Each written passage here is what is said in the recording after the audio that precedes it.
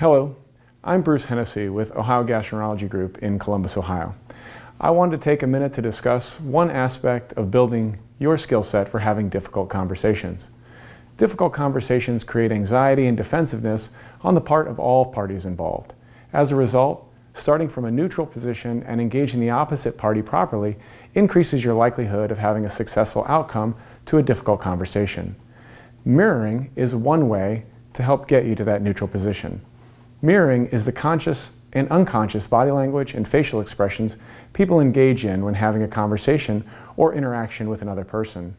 Delivering positive feedback with negative body language or facial expressions will give a negative impression regardless of the conversation content.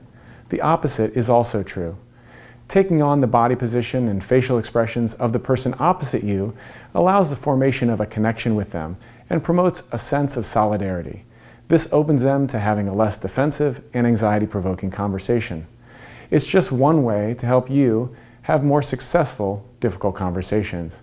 Thank you for joining me and the ASGE in helping build your difficult conversation skill set.